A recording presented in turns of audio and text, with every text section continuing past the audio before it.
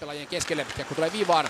Ei vielä lähde veto, vaan nyt lähtee Jokiharjun pyssy. Ja siinä kiekko menee, ottaa kimmokkeen ja näin Suomi kaventaa kahteen kolmeen ylivoimalla. Mutta hän löi kiekosta ohi. Ja sitten tota, Jokiharjulta syöttö Tolvaselle, joka ei osu askelille, mikä on poikkeus, Tolvanen etsii hyvin sen, mutta se syöttö ei ihan kohdalleen. Ja Menee, taitaa mennä sitten tosta takaisin ja kanalaispelaajan blokista kiekko nousee ylös.